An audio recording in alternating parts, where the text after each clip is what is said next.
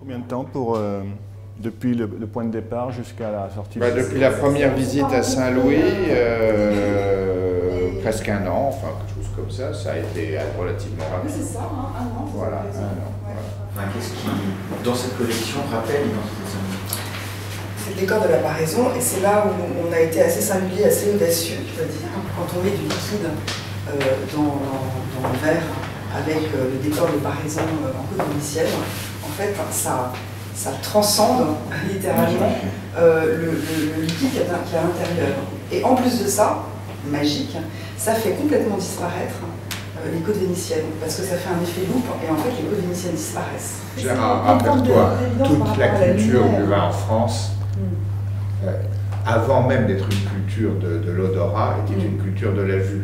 Oui. Les tas de vin. hein. Et, et- et la Ah, bouffe J'allais en parler, le tas de vin. inspiré. Ah, ah, le, le tas de vin et l'observation à la bougie et, et la volonté, le perfectionnisme qui a mis au point des techniques pour que le vin soit aussi limpide que possible en fin d'élevage, et, et c'était un signe de qualité. Vous voyez ce que c'est un tas de vin Hein Oui. Il n'était pas transparent. hein. Il y en a eu, mais ils- ils- ils ont- ils ont- ils n'ont pas fait long feu.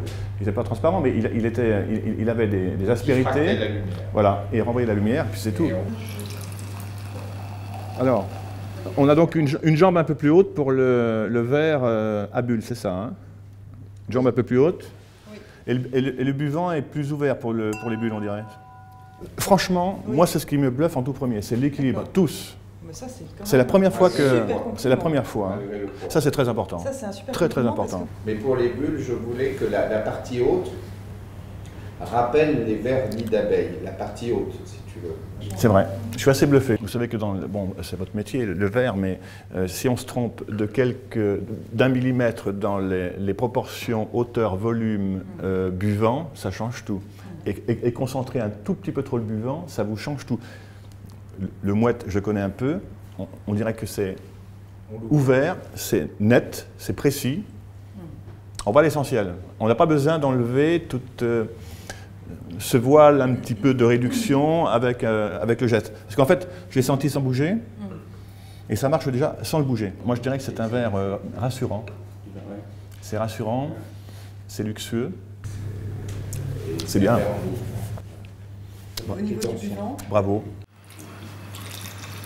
Dans le vin jeune, je voulais d'abord que ce soit la, la brillance de, de la robe, et donc on n'est pas une, une vénitienne trop, trop, trop étroite, hein. Oui. hein, euh, qu'on la fasse euh, la plus large possible. Et j'ai pensé surtout évidemment à, à un vin vieux et un vin vieux de, des Côtes du Rhône de Bourgogne en particulier, qui ont vraiment besoin, un besoin d'air. hein. Mais en même temps, euh, cette capacité de, de mettre en valeur les, les dégradés les dégradés de couleur que les vins rouges vieux ont. euh, On a presque la même sensation qu'avec le verre à bulle avec mouette tout à l'heure, c'est-à-dire qu'on on- on- on rentre, on rentre dans une espèce de chair, une sensation de fraîcheur avec celui-là, sans bouger. Alors que là, on concentre un petit peu, Et dès qu'on concentre un petit peu, ça change tout, hein. Ça ira beaucoup mieux. mais là, vous avez le même oui, dans les deux verres. Euh, Vous commencez par là, vous avez une intensité qui est un peu resserrée, oui. Et là, vous, vous rentrez directement dans, dans la masse.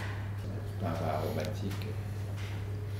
C'est les limites. de- On rentre dans la chair, sensation de chair, de chair de fruits, alors que là, on est quand même un peu plus... euh, Quand j'arrête de tourner, C'est- vraiment cristal. Voilà. C'est l'effet cristal. et, et quand j'arrête, Voilà.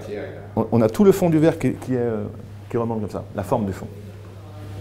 Et, et- tu repères les moindres nuances de tsunami. vert, les moindres nuances de. De- de- c'est extraordinaire. Et ensuite, quand on a des vins qui, qui- qui vont vers l'ambre et qui vont vers le doré, on a des jeux, des jeux incroyables. Bravo. Très franchement, c'est tout à fait euh, sérieux, voilà. Vous êtes déjà allé dans, un, dans une cave? Oui. Bon, il y a une odeur particulière. À certaines euh, saisons, c'est franchement, on est, dans, on est dans la fleur, le fruit, etc., etc. Et le rêve du vigneron, c'est de mettre tout ça dans la bouteille et que ça reste comme ça. Et ce verre-là, il ramène tout. Oui. là, C'est ça. C'est une fleur. Mais il vous ramène tout, tout le- tout l'écosystème de la cave, euh, son olfactif, tout est dedans, puis voilà, ça sort comme ça. C'est génial. Quand on tourne, c'est- c'est c'est un peu violent, mais Quand on arrête de tourner, il faut qu'on voit la masse, la masse de couleurs. et, et on voit toutes les côtes Ouais, c'est fou. qui tournent comme ça.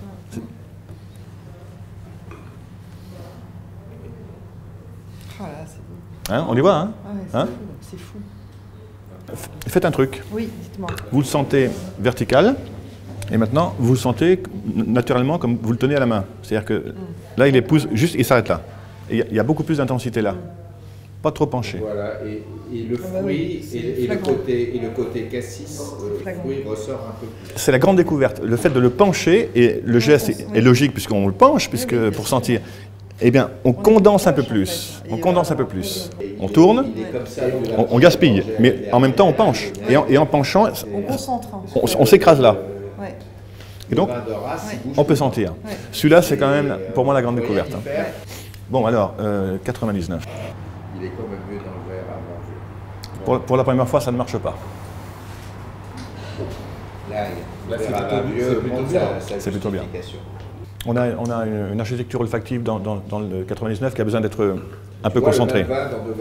Et là, on part dans, dans C'est terrifiant. Ce qui est logique. ce qui est logique.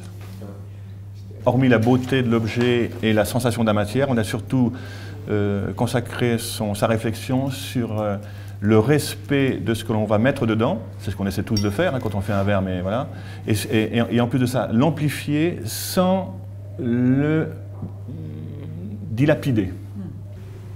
Pour le verre à bulles, pour le verre à, vin euh, effervescent, on va dire, qui peut d'ailleurs contenir autre chose que de- des vins effervescents. Ce qui est intéressant, on a goûté un champagne particulier qui a besoin d'être, euh, qui a, besoin d'un petit peu d'aération. Là, sans toucher, euh, sans tourner le verre, on rentre directement dans la chair. Ça, c'est quand même fantastique. Pour ce qui est du verre à vin jeune, bon, bah, c'est celui moi qui m'emballe vraiment parce qu'on peut presque tout faire. On peut presque tout faire. Jusqu'au moment où on l'a poussé un peu dans son. Et donc, euh, il s'appelle le verre à vin jeune, et il y a un moment, le vin vieux est un petit peu en difficulté. Le vin avec un certain âge, hein, 20 ans, 25 ans, 30 ans, voilà. Mais il a, il a une qualité technique insoupçonnée, c'est que quand on fait ce geste-là, qui est un geste logique, euh, qui est- qui est le geste naturel, il renvoie l'intensité. Alors que là, on l'a un peu moins. Et le geste logique, c'est ça. Donc ça, vraiment, bravo.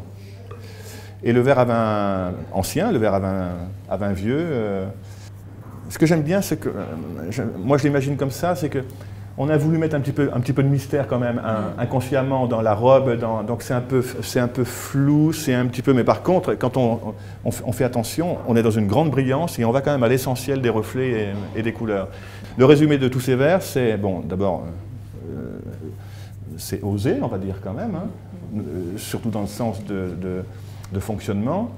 Euh, après, techniquement, il y a une chose très importante qu'il faut dire, c'est qu'ils sont équilibrés. Ça, c'est très important, parce qu'on n'en parle jamais. Ils sont, ils sont équilibrés avec du vin dedans. Ils peuvent l'être vides, mais dès qu'on met du vin dedans, euh, ça commence à, à être... un- il faut faire attention. Je pense que j'ai tout dit. Bravo.